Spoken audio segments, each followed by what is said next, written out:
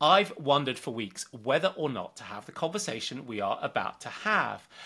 I've wondered not because I don't think my guest will be worth your time, no, of course not, but rather that there are so many new artificial intelligence products out there that you almost need an AI to count them. So, which ones are really worth your time? Well, ultimately, I found a single data point that told me I needed to bring our guest today in for a conversation. Since October the 1st, and we're recording this in mid November, I've logged into his AI service 268 times from my laptop alone. I also have the app on my phone. I use it every day and it's displacing a large number of my Google searches. The product itself? Perplexity.ai. And I thought no better than to speak to the man behind it, Aravind Srinivas, the CEO and co founder of the firm. He's hot on the heels of a huge funding round from top tier investors, and the product itself, as well as my few hundred queries a month, is seeing tens of millions of users monthly. Uh, Aravind, welcome to the conversation. Uh, thank you for having me, Ozzy. So, uh, maybe I thought we'd start uh, with you know your, this kind of amazing uh, product, Perplexity, which I would say it's a you know it's a question query engine. It, it is a way of finding out answers to quite often quite complex queries. Uh, for an old timer like me, I think back to a product like Ask Jeeves from the early 90s, which attempted to do this, and uh, I was an investor in PowerSet, uh, which uh, uh, tried to do this, was ultimately acquired by Microsoft. Um, back about a decade ago, uh, but it feels to me like Perplexity has actually worked. You put a question in, and you get quite a complex answer out.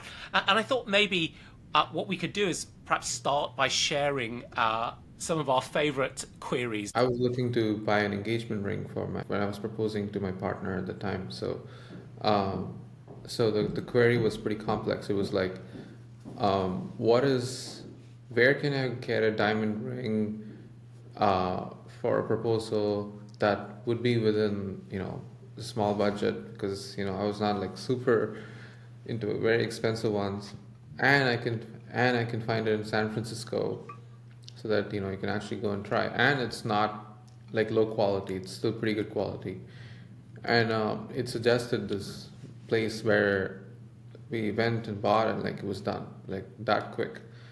Um, and then at the end of the day, at the end at the end after we made the purchase the person there running the shop asked me, "So how did you discover us? Is it through yeah. Google or Facebook or friends?" I said, uh, "It's through this thing called Perplexity."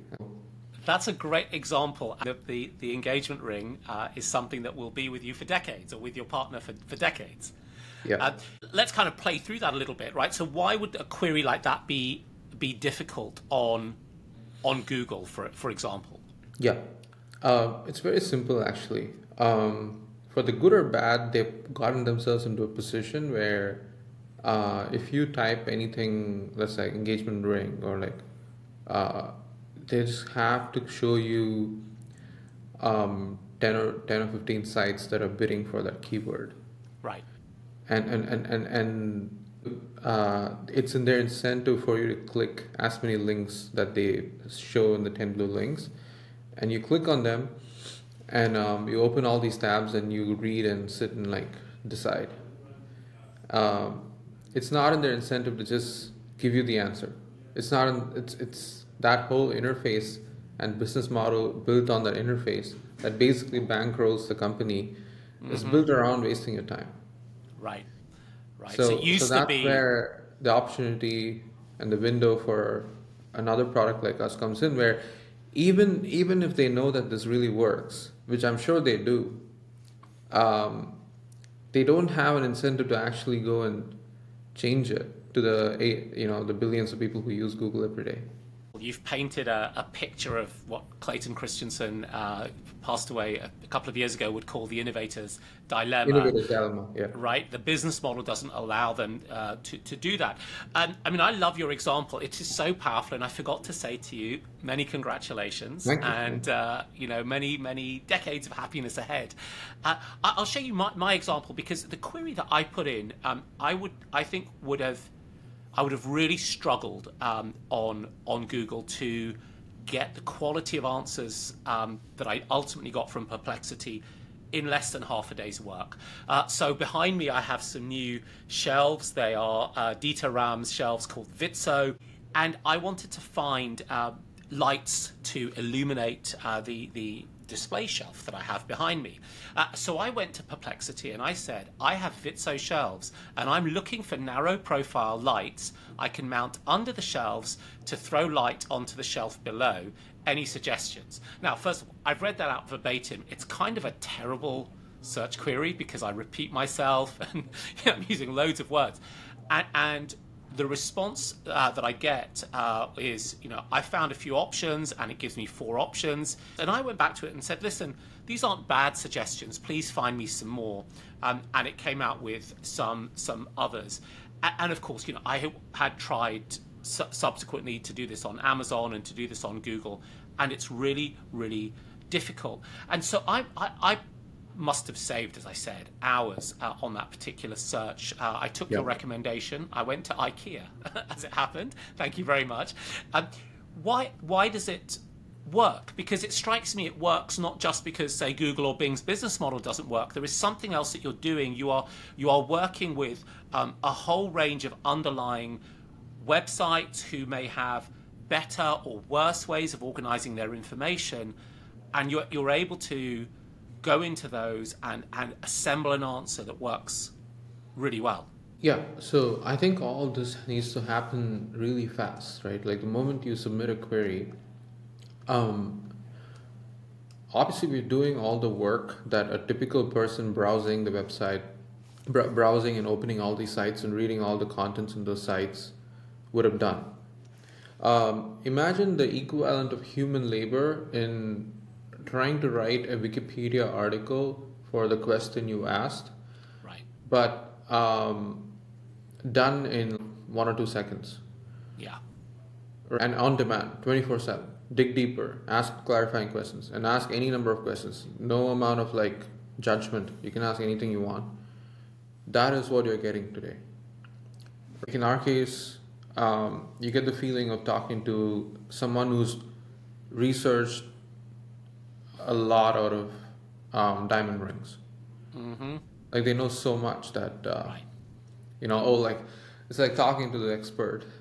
And, and at the heart of this uh, this this product, I mean, I, I feel I ought to also share that one of the things that I have discovered in the at least 268 query sessions I've had with it in, in six weeks uh, is you reference uh, the results. So every time I get a, a, a result telling yeah. me about a particular uh, LED light or a way of changing my LAN configuration or uh, something about human brain capacity, which I was researching for my new book.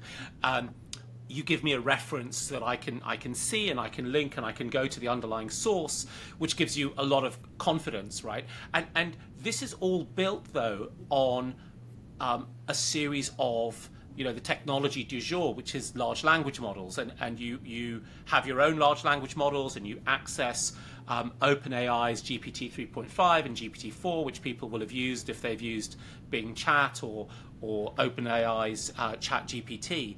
How how does you know how does that come together in delivering the experience that that I get?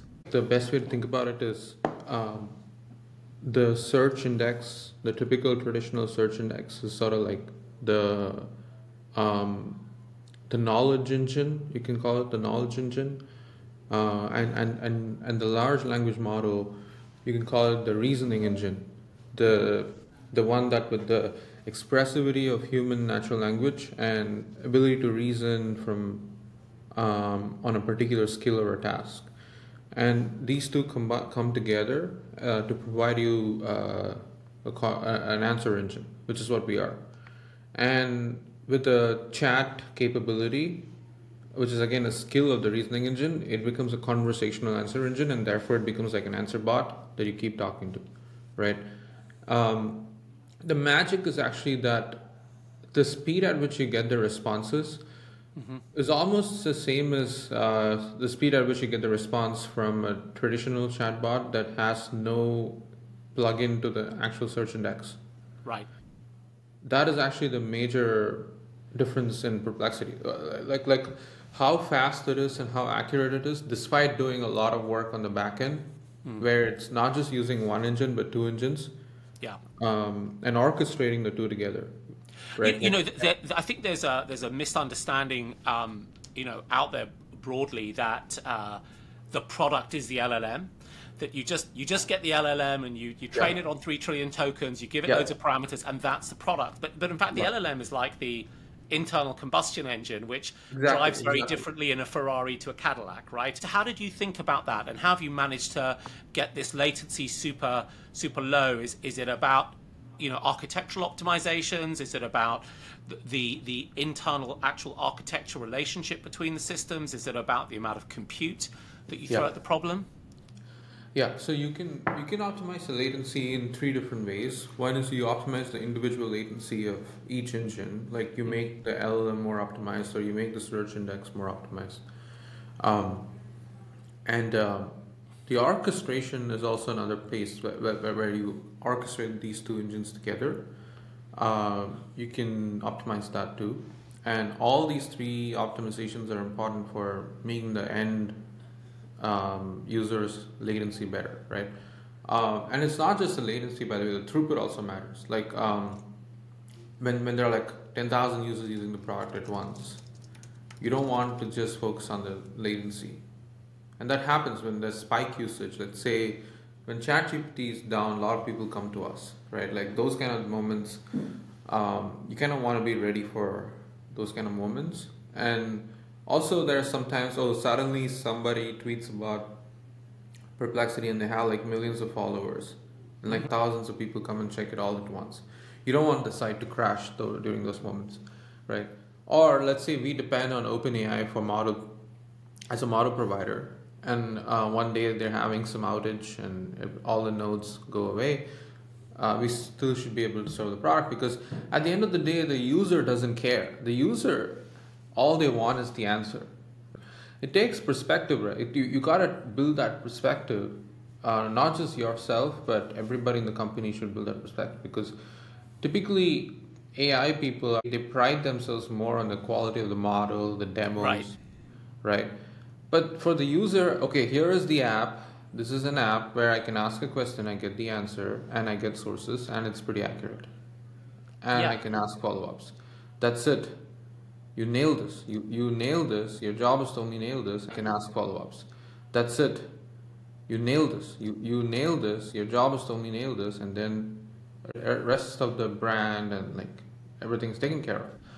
So, and, and, and for that, you got to do a lot more than just train the best model or fine tune the just mo- best model, or you got to do a lot more than just being the best search index there is. Um, you got to do everything and optimize for the end-to-end experience. Yeah, I mean that's certainly one of the things that I feel when I when I use uh, you know use Perplexity eight ten times a day. Uh, but I'm curious about that point that you made, which is like you know a lot of the AI community is still coming out of the research world, so they are focused on a on the model itself. Perhaps they're focused on ro- product uh, sorry scientific robustness.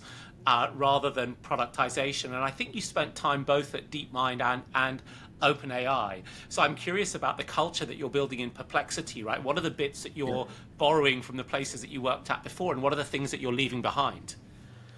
Um, so I think the culture I'm borrowing from OpenAI is this um, iteration, it, iteration culture. Like, don't just wait for perfection. Try to iterate a lot, and speed, the urgency with which we got to get it out in the hands of users, and um, more important to actually have something usable than something that's just uh, uh, benchmarks and things like that. So that's the culture from OpenAI. The culture from DeepMind is kind of like the perfection mindset. Right. Uh, OpenAI is the iteration mindset, and I think you obviously want to have a bit of both. Um, maybe we are more like 80 20, 80 OpenAI, 20 DeepMind, where we care obviously about perfection and those you know the, the finer elements of magic that DeepMind inserts into their releases. I really admire that, um, and it's all coming from Demis himself, which is you mm-hmm. know um, he cares a lot about like magical moments. He really so does. Yeah. We do that. We try to do some of these in the answers like oh, how does this AI even know? Like that's crazy. Like those those are wow moments need to be there, but um, you cannot like do it um, at a slow pace in the startup world because otherwise somebody else is going to eat your lunch, right? Like so. I think that's what Google called their code red at the start Yeah, of uh, exactly, this year, exactly. right? When ChatGPT came out. Um, and so, when you, you you talked about model benchmarks, right? So the benchmark is the uh, you know is how well is the model performing on yeah uh, these different ways of testing it, MMLU, and so on and so forth. And um, it, it's a it's a matter of pride, right? When people release their models on Twitter, particularly in kind of open source, they'll go off and say, "Oh, we you know we we beat this code benchmark." Do, do you care that much about about benchmarks in that sense? I do, yeah. I mean, here's the thing, right? Like, where people claim a lot of benchmark beating achievements, but when you actually use it in the form of a chat product, it, it doesn't work as well. So it's very easy to hack benchmarks by just trying to, to create a data set specifically for that benchmark, Yes. training for it, and then you show good performance. But the magic of these general usable chat products is that you'd never optimize for one benchmark, yet you are really good at it. Um, and that's the kind of model that makes for a very robust product because people typically use it in all sorts of ways. So you are not optimizing for one benchmark, you're optimizing for like so many benchmarks at once in a Yeah. manner that um, when you actually um, put it out, no matter how the user tries to use the product, it just still works. Mm. And and and um, and and that's why like I'm I'm more a fan of like tracking five to ten benchmarks at once rather than one benchmark. Right, right, and and I guess those are the those are the technical benchmarks on how the models perform in these in these sort of lab experiments. But I I guess now that you've got a product out in the market, Yeah, yeah, we- you're we- also we- considering okay. about retention and searches per That's right, user yeah. and so on. Yeah, you, you have to run a lot of A/B tests on different models and see how people react and how many, how many has the queries per user gone up? Has um, or, or or even run evaluations uh, on a user of like okay, if you have an existing model and you have a new model, and the new model is cheaper than the existing model to serve, then what is the one bit that you need to decide if you if you can switch over? The one bit that you need is whether quality has not regressed Right. right and and, and, and you would measure that by saying uh, you, you you give a human the answers from both different both the models and ask them if you know which model is better But the, the challenge you've got is that is that you know people will use this for every type of query from from engagement rings to cancer therapies from lights Right. under their bookshelf to competitive analysis That's right. uh, and so that that A/B test is is pretty complex right I mean to get a statistical Exactly. sample must well it's probably easier now because you've got millions of users using the service but That's right. it would have been hard in the, those original days right that's right um, i think like we probably would benefit a lot from like you know having even more users so that even a b testing to a small fraction of the traffic gives you a lot of data but i think the best way to do this is like sample representative queries from your usage and Right. Provide it to independent evaluators and then ask them to and if the user is not able to say which model gave what especially when it's against a faster cheaper model versus a slower smarter uh, like like a more expensive model then the decision is very clear. You, you switch over to this cheaper Right. model right? Right. And, and these are the kind of optimizations that are very hard, by the way, because uh, often what happens when you train a cheaper model, uh, which is faster, is that there will be some regressions. Uh, this happens even for big companies like OpenAI. Like look, look at their announcement they made in uh, the developer day about GPT-4 Turbo, when uh, they claimed it's uh, going to be a cheaper model and also better than GPT-4. right But then people on Reddit are ha- having an outrage of, oh, it's not actually better. Like, look at all the stuff it used to be capable of before, and now it cannot. So that means what? It, it doesn't mean that OpenAI is not good at um, evaluations. It means something. Despite doing all that, they missed out on some ways to make Yeah. comparisons. So, so you've you've put your finger on something that um, I I think is really challenging for building with with LLMs, building with these new databases or new internal combustion engines, yeah. which is that, you know, when I was a product manager, I, I built products with underlying technologies that were deterministic. They did the thing that you asked them to do the same way every single time.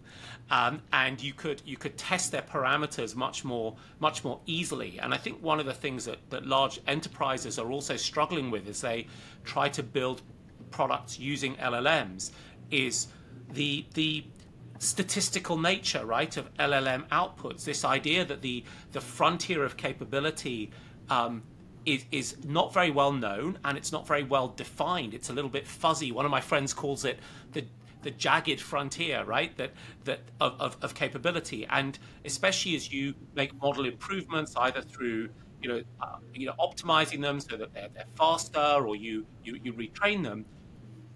You, you may, in general, improve things, but there may be very specific areas where things get get worse. And one of the things I was so fascinated about Perplexity is I think you are one of the first couple of companies who's got a working product that is built with LLMs as part of its components that's working at some scale. And, and, you seem to have established perhaps this new discipline, this new product engineering discipline, which is how do you build with these these kind of random acting Pokemon LLMs? I think like the one thing that um, I've personally stuck with as a wisdom is something Jeff Bezos said very early on in Amazon days is the user doesn't care. The and the user is most always right. So user, no, I'm not talking about user suggesting you what to do, but mm-hmm. the user telling you what their problems are. You, you, they're most likely right, and, and and and the user doesn't care how hard it is for you to solve their problems. Uh, let me expand on this. So if you actually need to serve a cheaper model because it's just inefficient for you to like uh, run the product otherwise. Um, your profitability is not their concern. Right. Just like for amazon this in one or two days is actually something that makes amazon run um, and they keep burning money because of that. Right. But because of that if bezos chose to increase the prices of the goods or increase the number of days of, of, delivery from like say one or two days to like three days or five days um, that would solve the problem or like at least address it to some extent mm. but the user doesn't care like someone else is going to offer the more superior terms and they're going to shift over yeah.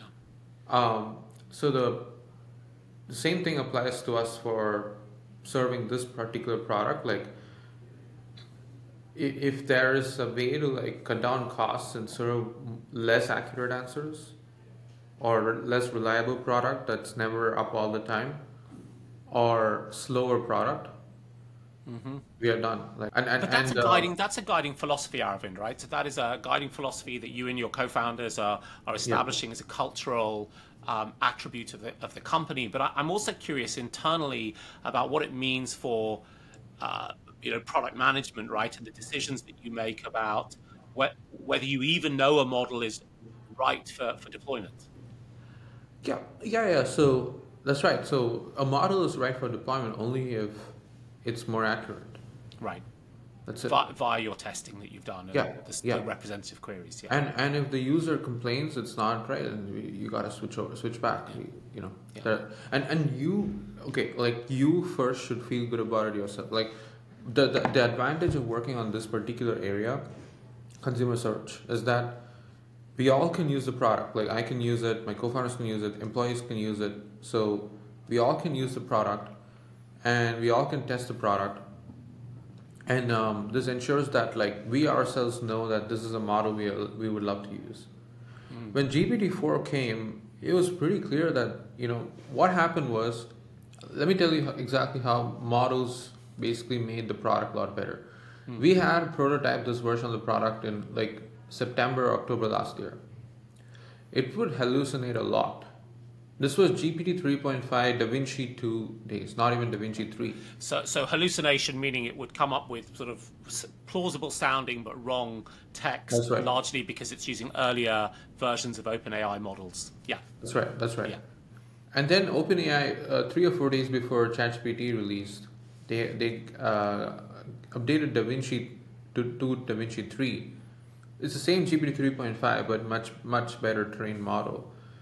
And we switched over. We just literally changed the two to three in the code and used the product, and it just got insanely better. Like hallucinations dropped a lot significantly. And, and then when GPT 3.5 Turbo came, it got a lot faster and cheaper and more accurate. Right. And then when GPT 4 came, it was just like mind blowing. It, it's not cheaper and faster, but hallucinations are like one in a hundred now. Right. Right? And so if you existed in the world in like late 2022 and, and, and looked at this sort of answer engine product, you would be like, okay, this is cool, but you know, one in a 10 queries are wrong, you know, it's not going to make it. But now you're like, damn, there is one model that basically makes this hallucination problem almost irrelevant. It's expensive, but now what is the bet you're going to make on the future? The bet you're going to make on the future is that whatever this model is today that hallucinates one in a hundred times, that'll be 10, 10x cheaper over the years to come. This is the most expensive and the least accurate. Exactly. This be. is the most expensive and least accurate it'll ever be.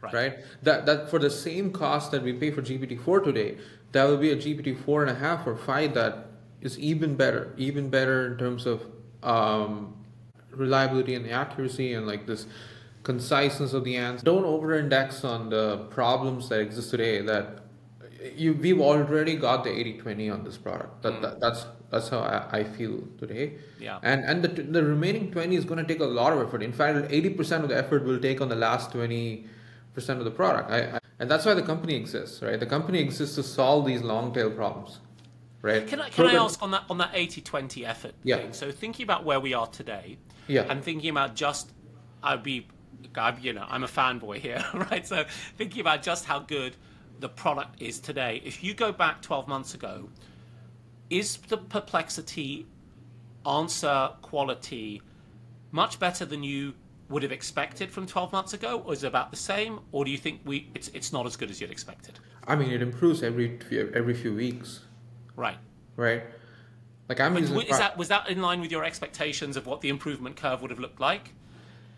Um it it it exceeded my expectations honestly um mainly because the the the models got a lot smarter. Uh, one of our investors, Daniel Gross, he, yeah. he does this fund with Nat Friedman. Mm-hmm. Um, before we released the first version of Perplexity, I had been sending it around to friends asking for feedback. And, and, and not, not a lot of people tried it, but Daniel was one of the few people because he tried a search engine himself as his first startup. Right. And um, the first feedback he gave, the first sentence I remember was like, you should call it a submit button, not a not a you, you should call it a submit or a run, run button, right? Instead of instead of uh, like like hit button for the search yeah. query, because it's that slow. Like it's it takes like, like you had to send instructions to to like a, a batch processing system. Yeah, come exactly. Back a few minutes later. Yeah, yeah, yeah, yeah. It yeah. it takes like seven to ten seconds to get the answer. Right. Now you get the answer in like one second or lower.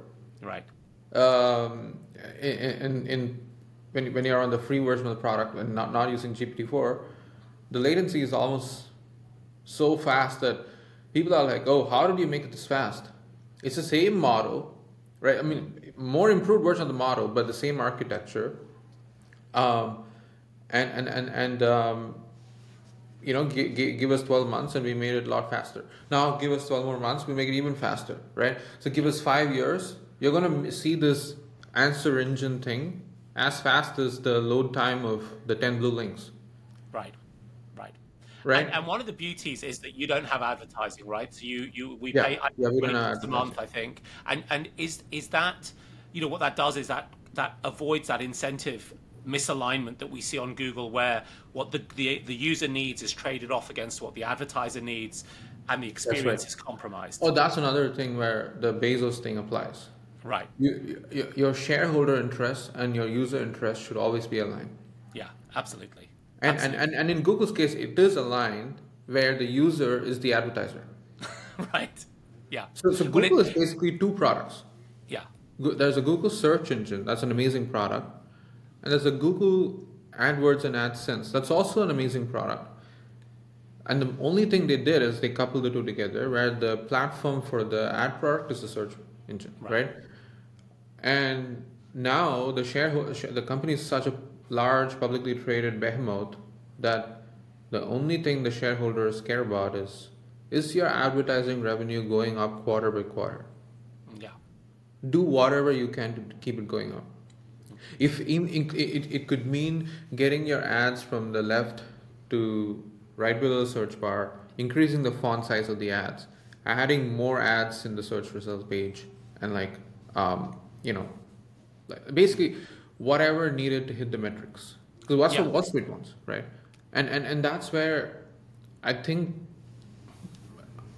you, you, you, if you compromise on what the user wants at the end of the day, the search engine user, this is what you're going to end up with. That's what you And that's up why I like really, I, I like Amazon, right? Like Amazon needed to make money too. It wanted to be profitable too. Hmm. But the way it did it is through the cloud business. Yeah. Cloud business became profitable. It, it and and you know Amazon is not without those internal tensions now that it has an advertising business. Sure, it sure. Has Now it's there the core, It's like- yeah. Yeah, they've got a few other things. Now, I, I love this conversation. I love getting inside the, the founder's head um, to, to, to understand your journey. But, but I also know that the Exponential View uh, audience will be really, really keen to understand, um, you know, your thoughts on, um, you know, how this affects knowledge workers and who stands to, to, to gain from these technologies, what the impacts might be, and also your thoughts on the um, the sort of emerging landscape of AI from closed source to open source, um, and, and the way in which some of the wider AI debate has, has, has gone, and, and fundamentally how you think the next few years might might play out. I mean, I, I think that those are really um, key questions. Maybe we can turn to that first one, which is thinking about, you know, who are the who are the roles like what that, that are going to benefit most from something like per- perplexity? You go back to um, the research around um, you know what jobs were going to get impacted by by ai going back a decade. The general view was that it was going to be the routine cognitive jobs like people in accounting bookkeeping data entry and that those in cognitive creative roles would not be impacted. But the first tests and results, and some colleagues at Harvard Business School did this with, with BCG when they put consultants in front of uh, ChatGPT, was they discovered that consultants got much more productive and produced higher quality work, um, even in non-routine circumstances. And the, the lowest performers were the ones who saw the much, much higher um, uplift than the higher performers. So it's been quite curious, right? All the assumptions that, that economists were making um, seem to be being a little bit unpicked by this LLM revolution. So when, when you look at this and you're seeing tens of millions of queries a day, how do you think about, you know, who, what jobs, what roles are going to benefit from, uh, you know, the, the wider rollout of, of LLMs through the through the economy? I think like more than focusing on any particular sector, let's focus a bit more on, you know, the higher level abstract picture of let's let's maybe zoom out from the perspective of somebody running the business, right? Um, now, Azeem, you might be able to run your company uh, with fewer people now. Mm-hmm. Why? Because you get this sort of suite of AI workers for you.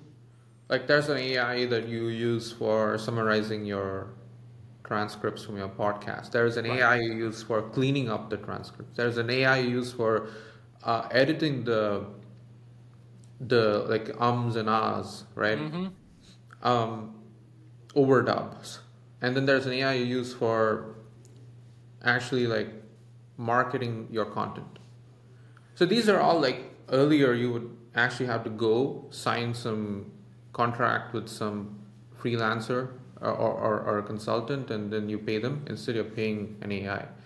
But that doesn't mean you're still not going to go to somebody else for help. But you, you it, it, you're getting the 80 20 with the AI now, right? On, on, on a lot of these tasks. Hmm. And I think what it would lead to is the following reallocation of capital, hmm. where there are more people who would explore their own self-funded businesses instead of working for somebody else. And the, and the people who are starting those businesses or the existing people who already run those businesses will be able to do it with fewer people.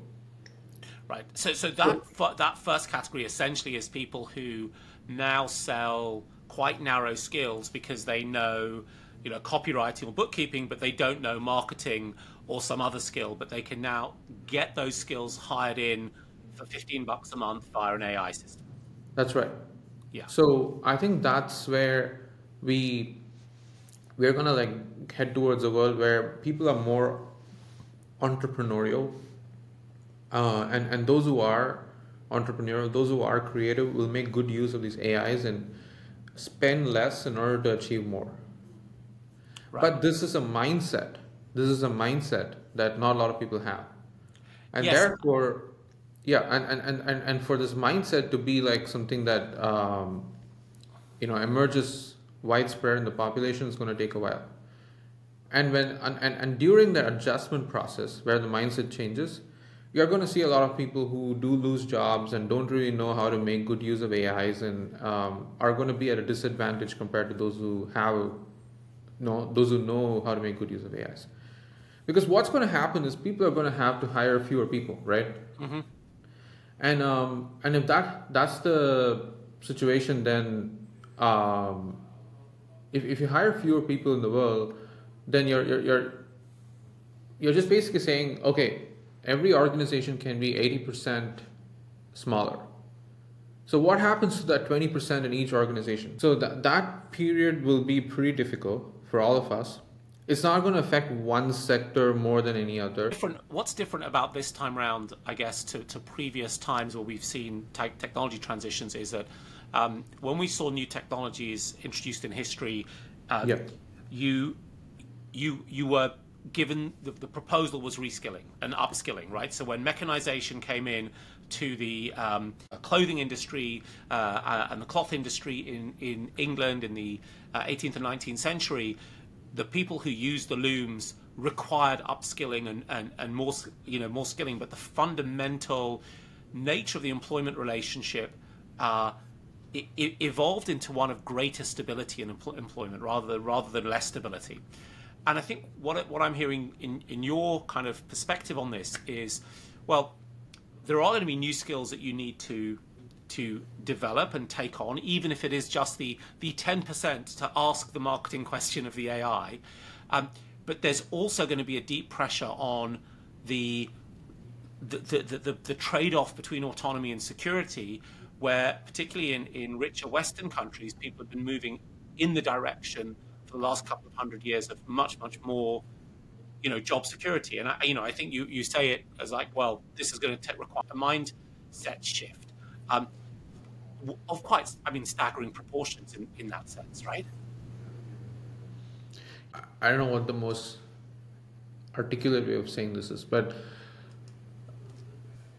everybody who's running an organization or, or a business would prefer to have some human doing a task if right. only they can offer something that an AI cannot. Which I'm yeah. still saying there is plenty of room right. for those things. But also, who are those people who are likely to offer you that? Are those who really uh, already know how to use AI as well and mm-hmm. know what they can offer on top of that? Yeah. Versus people who are fighting AIs. Because I don't think we should think about us as human versus AI and AI is gonna like take over me and I'm gonna stop the AIs from proliferating the world. It's more like, hey, what are you doing today that's mundane and repetitive? And and and can you use an AI for that? And and what can you channelize your brain towards now? I mean, I think that the the kind of abstract path that you describe makes um, you know, it makes it makes lots of sense. So, I mean, essentially, the the argument that is often put out is, you know, the horse came along, in came the motor car, the horse didn't retrain, and it became glue. Uh, and what we're saying, you know, essentially is in comes a new technology, it kind of expands capabilities within the economy, people who retrain um, should be able to, to move up. And, and there is a counter argument that says, but the difference is that AI will get so powerful that the space yeah. of possibility and input for the human will decline further and further and further, and that could be a problem. And it sounds to me that you you don't think that that latter outcome is either likely uh, or, or, or, plausible in, in the short term. Is that is that reasonable? I think so. I, I, I that's reasonable. Um, it. I still think that AI is still at a point where it, it's in the co-pilot phase where right. it really benefits from working together with the human. I mean, today we're using AI as a sort of like mundane things that we don't want to do. Mm-hmm. Tomorrow we are going to use AI not just for mundane things, but also like suggest us what to do because you know coming up with new ideas is also hard, right? Yeah. And then tomorrow, and, and then day after tomorrow, we're going to be like, hey, like just do this for me. You think about the idea, you think about how to do it, and you and I and, and get my approval in for intermediate steps, and I'm just going to like approve like a notification yeah. on my phone um, so we are still going to live in this world at least for the next 10 years, I think, where AIs are co-pilots, but their uh, the, the percentage of work done by them increases. You, you know that I, I, I like what you the way you frame that. Um, I think what it says is um, roughly um, you have a you've made a, an assessment of um, of the development that you can see through these products built on LLMs, because it's not just the LLMs, um, and and that idea that we have a all singing, all capable AGI that is that can generalize across anything as well as any human, um, you know, it, it is is unlikely to be a 2026 mm-hmm. product announcement, right? Is that roughly what I'm, you know, what I'm hearing from you, right? So yeah, so, so right. that that makes me me ask that question about. Um, you know, when we look at the technology, I think this is a huge question in um, in public policy. It's a huge question in, in, in public debate around dinner tables, which is um, have we have we actually figured out how to build that type of uh, you know silicon based cognitive capability and now it's just a matter of building it? Or actually, do we just have some really, really impressive ladders right now, and we can continue to build those ladders? And we need to actually find, um, you know, we, we, we are we are still safe in some sense. We need to find that new scientific approach uh, to, to to get up to the moon. Right? Where, where where do you stand on that? Do we do we know how to do it, or do we still need to figure it out? I think we might know largely how to do it, but we still don't know the exact zip code of like we, we kind of roughly know the area, but I still think we don't know the exact zip code of where it is. And, and uh, so I still think some amount of research needs to be done there. Um, I think LLMs and AlphaZero are two of the major innovations in AI. If you right. if you were to pick two most important things. And, and just just to clarify for the for listeners, so AlphaZero was um, uh, Google's general game playing uh, system that could play many different types of games without instruction um, and also improved by playing against itself. That's right. Self many many times. Self Yeah, recursive right. self improvement through playing against yourself, and I think that has only worked in a situation where you have rules of a game and that was a winner and there was a clear win loss. Right uh, it hasn't worked in a way where it's open ended, which is how the real world is. The real world is not about like competing and winning, right? Um, it's only zero sum when there's an upper bound on what the total gain is. Right. But humanity has always been about unbounded potential. Like we keep increasing the economic capital in the world, right? So yeah. in, in such a world, like we don't have a, the equivalent of alpha zero yet. But if we figure it out, think about this, right? LLMs are trained on internet data. It's bootstrap. Think about internet data as human intelligence's footprint on the internet. Mm-hmm.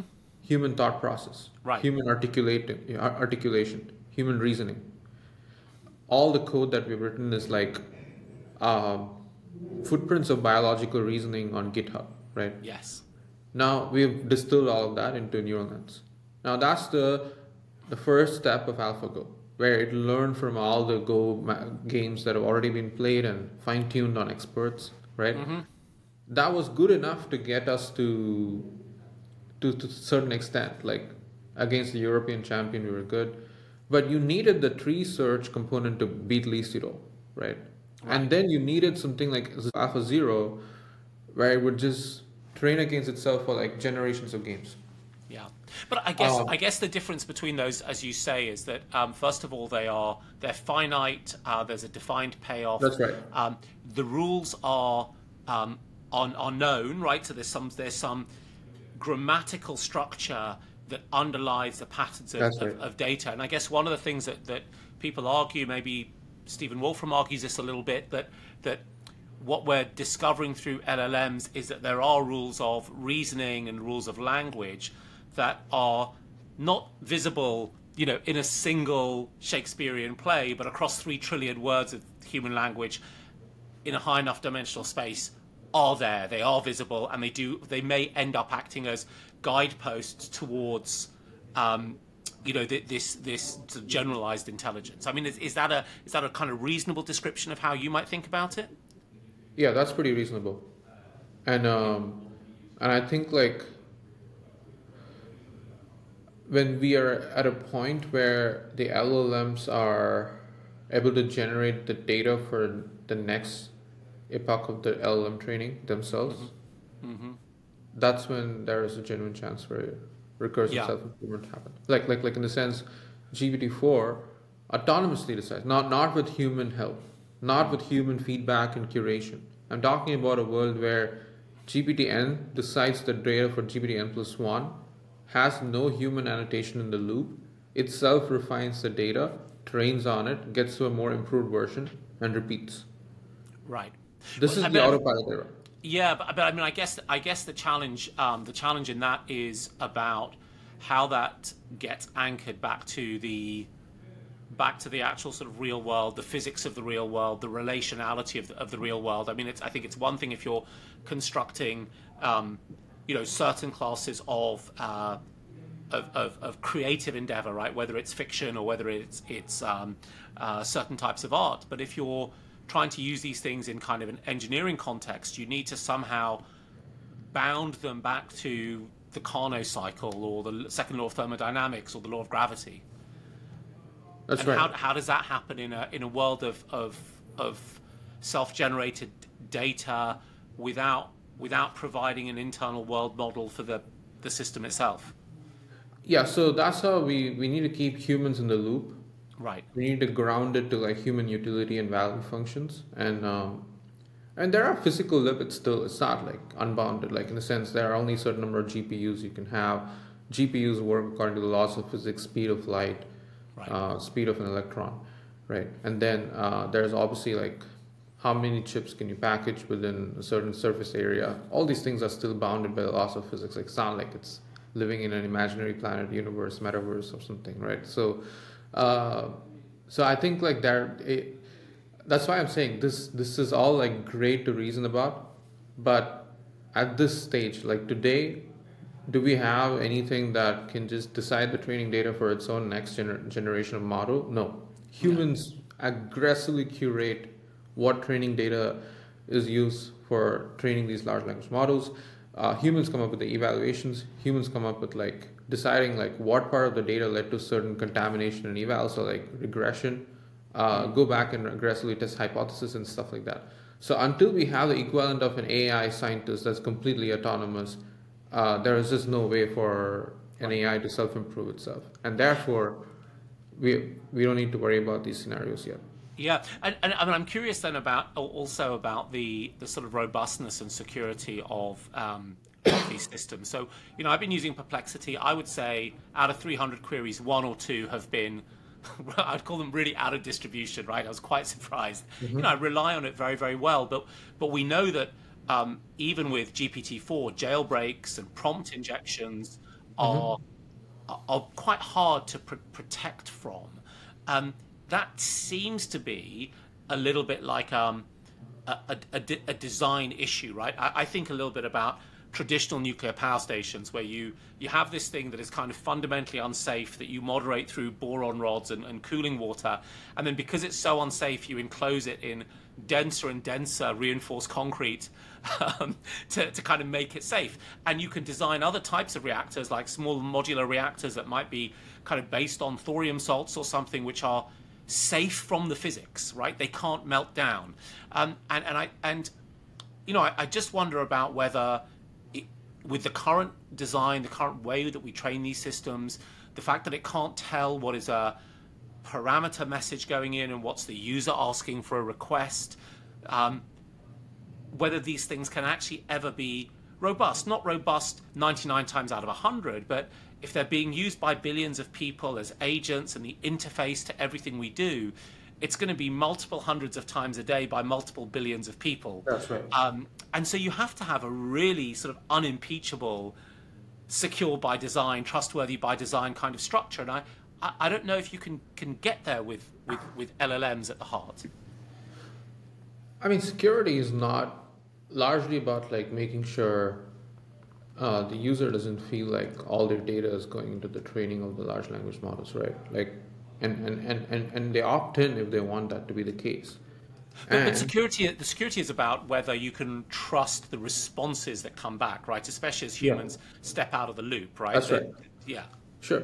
So, so let me give you a perspective on our own iterations on this. When we started as a company, we tried two types of searches: summarized unstructured search with citations, structured searches with SQL queries on databases.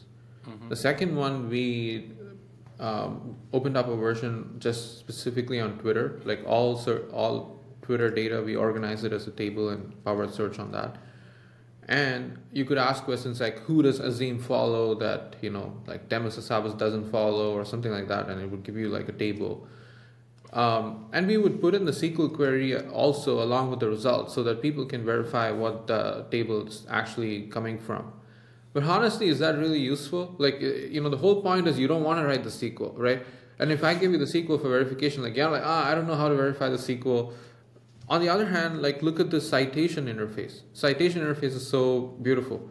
You you have the LLM answer, you have the citations at the top, you have the every sentence has the corresponding page that got the content this from. Is, this is your referencing and anchoring that you do in the answers that you give back. That's right. right? Yeah. yeah. and it's perfect, right? Like it, it gets you whatever the the, the, the verification requirement for the user. The, it, it gets the 80-20 there, um, and and um, so it's not just about what LLMs you use. I think it's also about the user interface, like how you design it, and uh, there are like you know so many places where you can go wrong.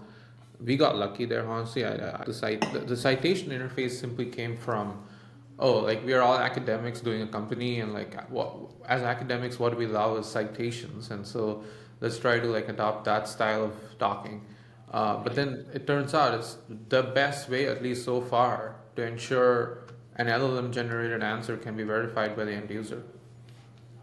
Yeah. So, so that that I mean, in a way, that provides some level of assurance within the the, the remit of, of perplexity. But I, I do I just sort of leave a placeholder, maybe something I'll return to with um, uh, in a you know future conversation, uh, which is about you know, given how important these things are going to be as infrastructure and interface, like what what needs to happen for there to be that kind of guarantee of trustworthiness. Um, as, especially as human humans step out of the loop. Um, I, I, know we're running a bit short of time, but I did w- want to ping you on on this question of open source and closed source for, for AI models. So I, you know, I come from a uh, like a really traditional internet world where stuff was open source and it seemed to work pretty well. Um, and uh, there's obviously this huge debate now where where you've got Yann LeCun from from Meta and others saying things ought to be open source to create better quality, safer software, democratizes um, it, its access, and others saying these technologies are super powerful, they need to be closed. Um, how do you, when you look at that debate, how do you think it's it's, it's evolving? So I think like the it's not a traditional software thing, um, though I think that even by that reasoning, it makes more sense for things to be open source. Um, right. I, I I feel like the the people who are pushing for regulation of open source have fundamentally flawed reasoning, which is they think that this thing is going to be too dangerous. Right. Now, if they think this thing is too dangerous, um, they're also the ones that are raising a lot of funding to build the thing even faster. right.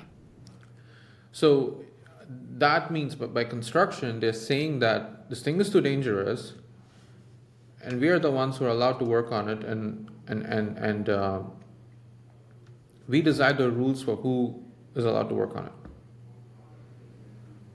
and other people shouldn't work on it. Right. Or if they work on it, they've got to go through the same process as us, except they don't have as much money as us and, and, and, and all the initial lead we already have. Um, okay, that's still fine. You know, let them do what they want. Now, think about whether if something is really dangerous, do you want only few people who have an incentive to keep it to themselves and like have the advantage to themselves have the eyeballs on it, or do you want more people's eyeballs on it, especially those who don't have any financial incentive towards it, right? Mm-hmm. Um, and the answer is obviously you want more eyeballs on it, like more people should know what's going on. Right. And the only way to do that is actually have things open source, right? Um, and, and, and, and also, if you want a pro competitive environment in this world, um, the more open source LLMs there are out there, the more chances that there are people who can build products or other LLMs that are of a different nature, different capability, more efficient, more cheaper, or, or, or come up with new breakthroughs um, on top of the open source models outside these big labs. Mm-hmm. So, given all these things, it's actually a different thing from traditional software because the cost of building something here is tremendous. I don't think there'll be any more foundation model companies that can get started.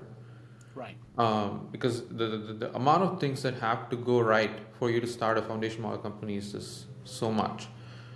Uh, you have to have a great team, you have to have a lot of GPUs, you have to have a lot of funding, and then you have to have like some momentum already.